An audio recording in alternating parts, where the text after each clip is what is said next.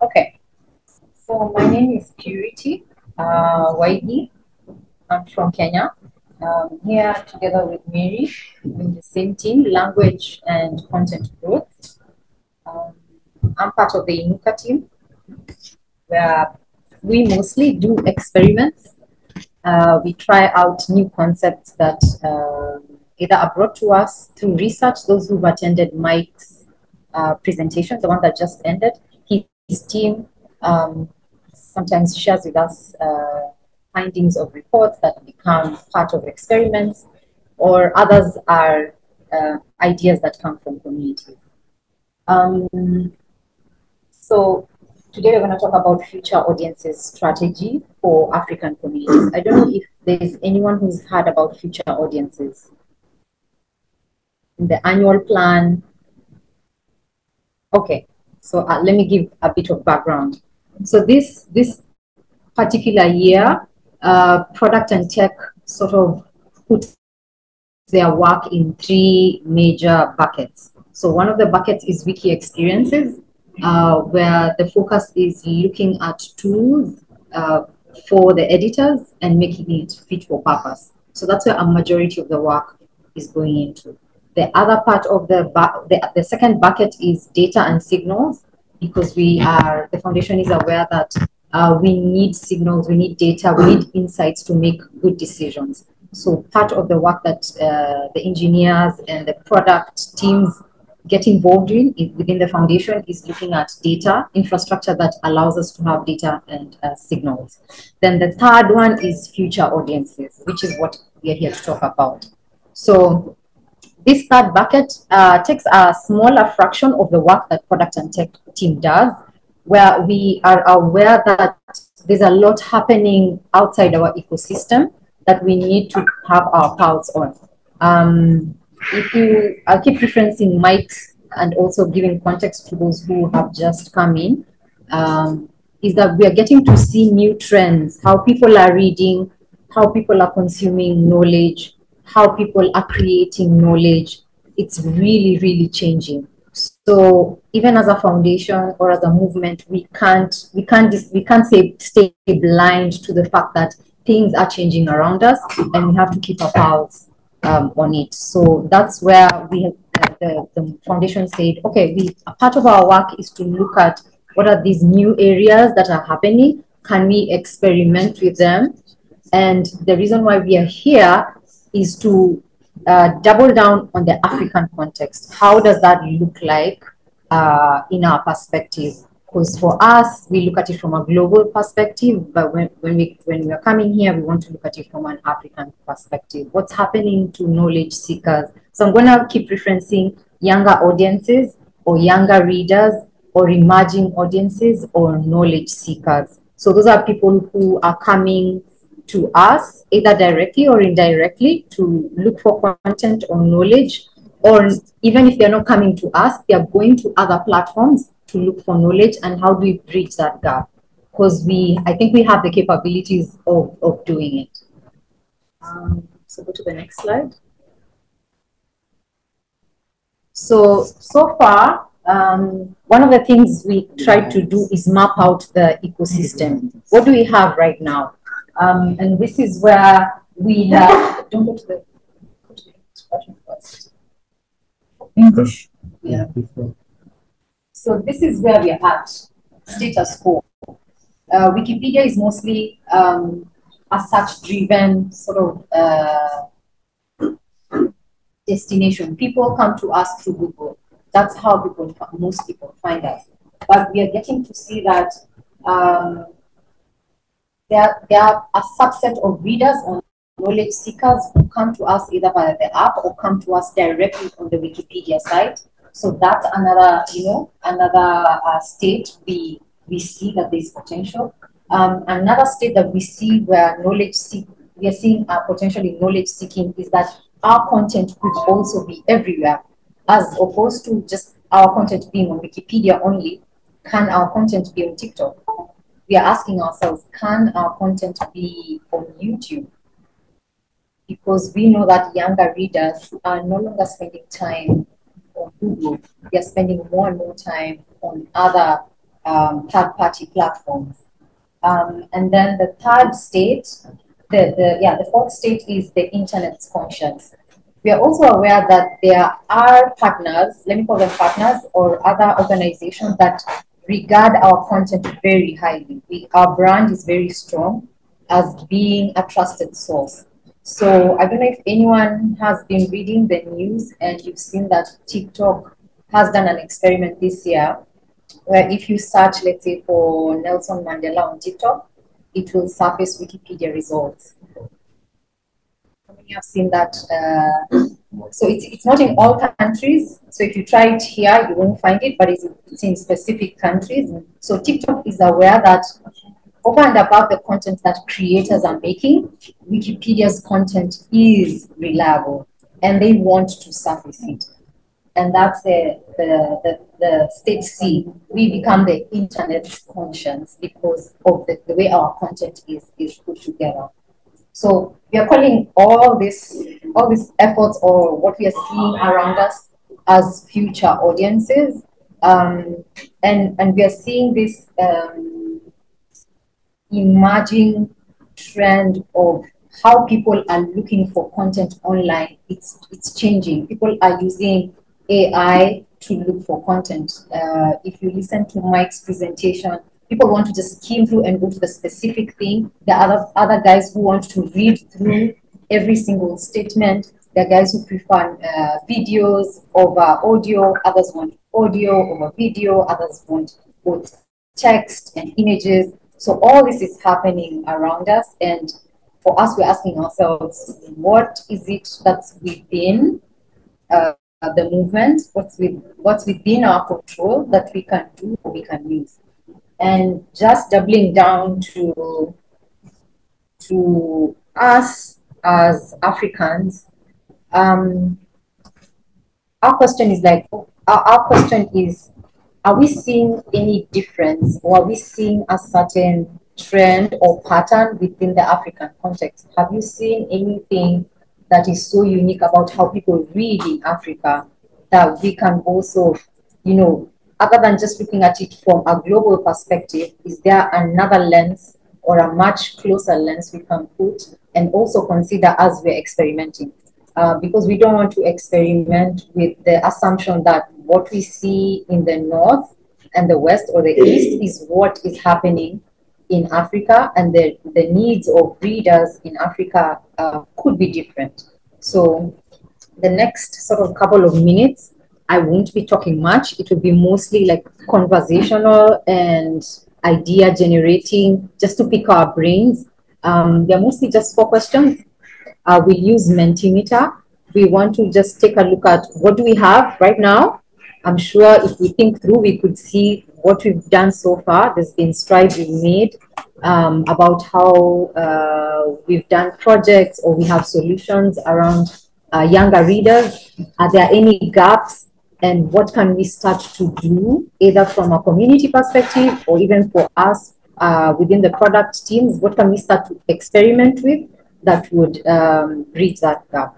So yeah, let me stop there first for questions. And in the same light, you guys can scan the barcode, the QR code, sorry, and get on to the questions. Any, any thoughts?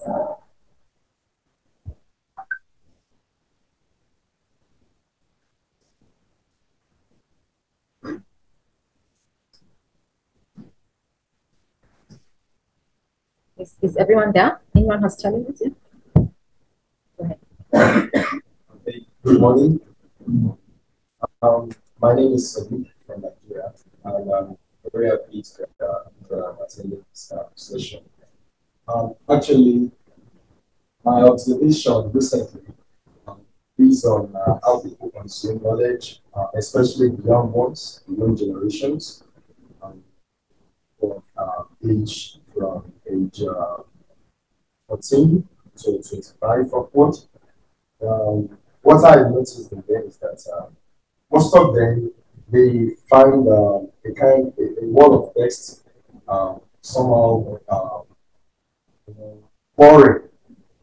You feel like what what the heck, what am I doing here? So I need this, and they spend much time um, using um, these other social medias um, more than the educational platforms like Wikipedia. So I'm just thinking if it could be possible, just an idea or an observation that if we can, uh, can we do something like uh, maybe uh, because I attended the session uh, at the Ministry Hall, which uh, um, someone was talking about AI and how we can use text to speech to um, to actually write an article and to read an article uh, to, to read an article. Um, with, uh, with um, somehow, you know, issues and some other things. I don't know, just saying generally, if that can be possible, so that even if you can't reach, but you still can get knowledge and facts based on what you search for online. that can easily be can easily get that to Wikipedia. We can get that result. I think that we're going to have more more readers um, coming. Um, we also have active topic another side video, like, and this, let me call them risky experiments because we can't do them off platform if we want to target readers. We want to come with the platform. So that's those are some of the things we are thinking about, but we also need the communities to embrace the fact that we must experiment, we must be open to experiment and then see how it goes. Yeah. Okay, so I just want to build on these point. Uh, sometimes I really find it very confusing for what's the interaction because sometimes you find them on social media and you see them on these spaces having so many uh, text as well as uh, as well as videos, images. They could stay on that for more than three, uh, ten hours, going through different stories because you see all these stories on Facebook.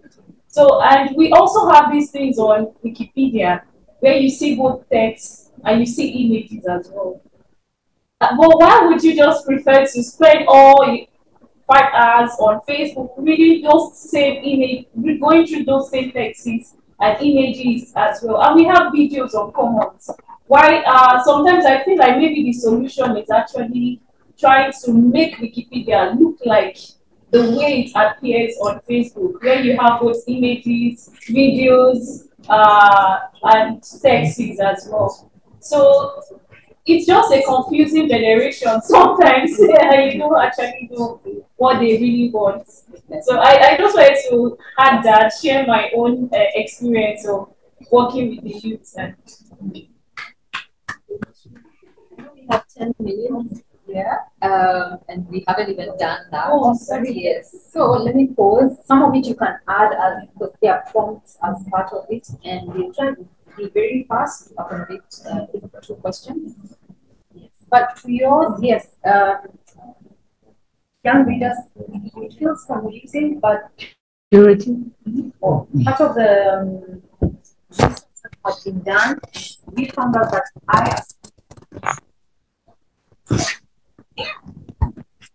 there, but when I'm doing my homework, I can go to Wikipedia. So a human, let me call it, a human being can have different motivations and be on different platforms for different things. So that's one. It's not. It's confusing, but it's not confusing. But that's some of the insights that Mike, the, the, the presenter before, uncovered during the research that shows that one individual can have multiple motivations and they can rely on different platforms to get their reading. Uh, yeah, and, and sorry, just to add to that, I think there's this uh, new uh, initiative by Wikimedia UK where they are coming up with having like their own TikTok space where they can maybe share about what they are doing. And I think other Wikimedia communities should also adopt things like that. Yeah. Yeah. Okay time so that we can move really quickly. Some of the questions do. Oh, thank you. Added in the same. In the same. Guys answered this question already. Yeah, this is the first question. How can we best describe current digital? So what are we seeing, which is what she has mentioned a bit, is what are we, and, and what are we seeing in the current uh, landscape in terms of knowledge seekers? What, what trends are we seeing? What's so unique?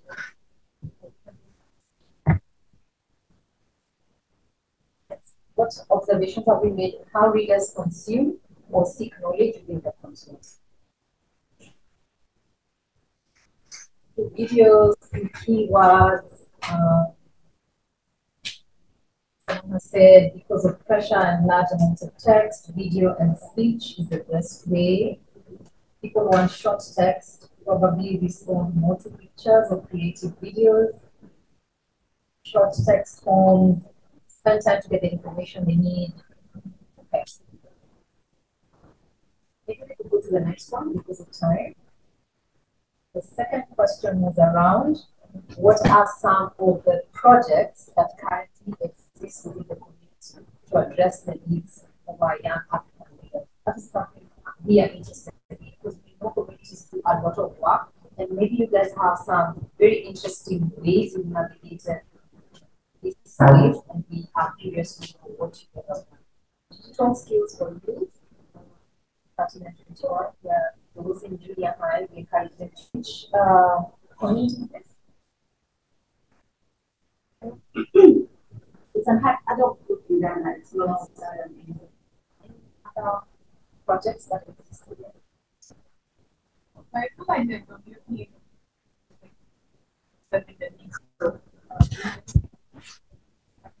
Wikipedia pages want some photos. Yeah, they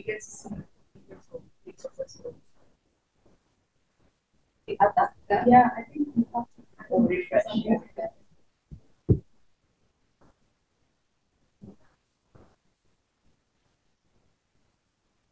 Wikipedia and Wikipedia for young readers, readathons. Uh, WP, WP. Wikipedia. Anyone else more that is happening in the community level? So I remember uh, Sandesta had this session of the radio where she talks about the article of the day, um, the, the news item of the day on Wiki. And so it kind of sparked interest to know about what she was saying. It could be a radio, a, a headline, so that people get to know that something like that.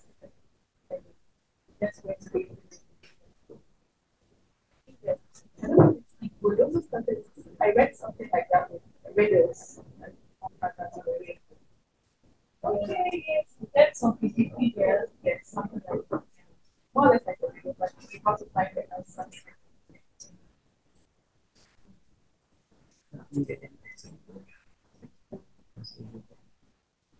Yeah, so he gets of Wikipedia and he's like, uh, I think it's been coordinated by one. So what she does is she goes on Twitter and look for exciting, very interesting Wikipedia articles that are very fun. And she picks up this particular Wikipedia article and then shares it on Twitter. And she used to get so many likes, retweets. Just recently, she posted something about uh, some uh, things that we mistakenly released other public domain. so, and that's really uh, of so many people interest in watching that movie directly from Wikipedia. So those are some of the things she does. What's the next question? Yeah. Five minutes, yes. So, which areas are we yet to address towards the reading experiences and habits of young African don't you see that that there, there are gaps that you think could you know build interventions or experiments around? Oh yeah please do it on your phone don't forget to be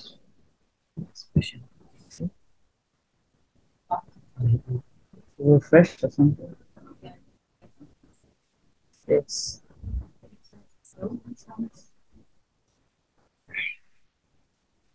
Audiovisual, oral citation, okay. I think I've had that a couple of times. Anything else that pops up? I know our oral history is very, very rich, so yeah, audiovisual. Much like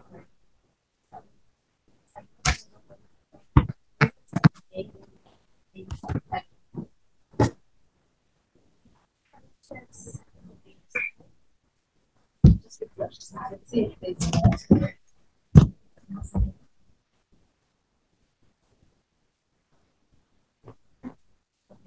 to the next one which is very related, which tools, technologies, or innovations can we explore that could address the needs of young African people? I there's a lot about AI, text to speech, more visual stuff,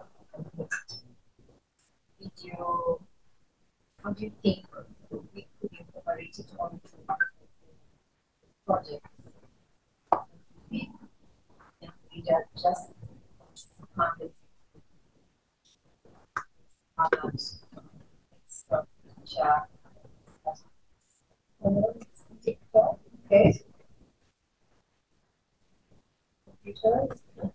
TikTok, okay. Computers. Yeah. Any, anything? What about computers?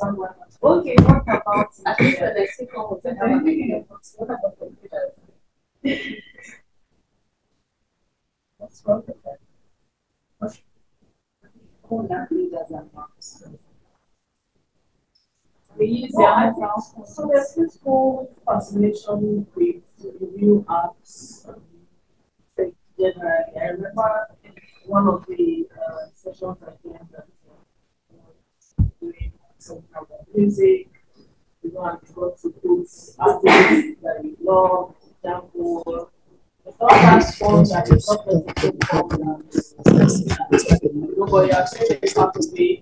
see how you're contributing to the whole process. These days, young people are by yesterday they really have to. I'm doing today. I to most young girls in Africa are fascinated by Continue. it. People they see on TV that they never experience while they are moving to Yeah, in Africa, but they don't have a solution of these people. Again, it's related to what you said about media, right? We had uh, uh, a webcam, we had a phone. How we using these gaps in media? Everything that we are doing. stars, editors, those who are great So can get. I mean, think it encompasses a lot of things, but I think that's what makes, it fun for us to think, explore what we. I know thinking now something like baby, because I read Yeah, that, yeah. big data, uh, they are comfortable with. Yeah, it's like, which let's an pathway. You kind of shuffle to find the right person. It could also be with practical as well. I can't pinpoint how we can get there, but I know we can do something. Yeah, I think Wikidata has some gaming features.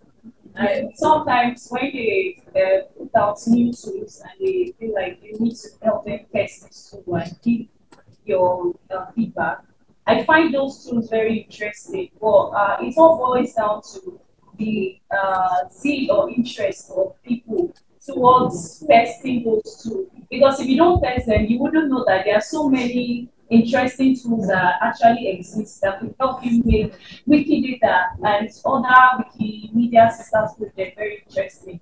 So I think it's mostly about the uh, publicity and the way people are perce- receiving it and responding to those. Yeah, so that's just what I can say because I know there are tools already that are very interesting. I don't have. I just want to make a, a rather controversial uh, pushback to all we've been talking about. So it, it's good that we are talking about how to get more Wikipedia. But first of all, Wikipedia is uh, an encyclopedia. And currently, better. What I'm trying to say is that the more we try to make Wikipedia into social media platform, we risk driving down the relevance that people So, um, may not be the most popular ways of thinking about this, but I just feel we're going down that rabbit hole of trying to make Wikipedia look so sleek and picturesque and, uh, you know, would be a lot of disadvantage in the long run.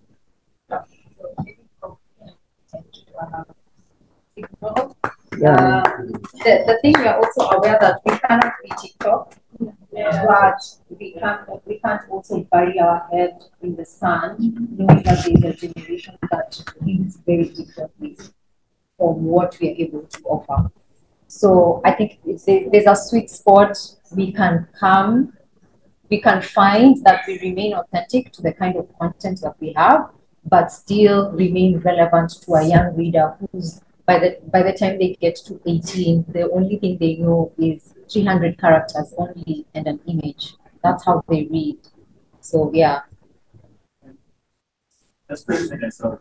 So I feel that it's the role of third party tools or third party applications to take the responsibility of making Wikipedia, you know, extremely appealing to young people, rather than the, the front-facing platform itself. And in the case of uh, Wikidata, as my sister said, there are a plethora of tools around it, and it's more fun and interesting, but not the project itself, tools around it. Okay.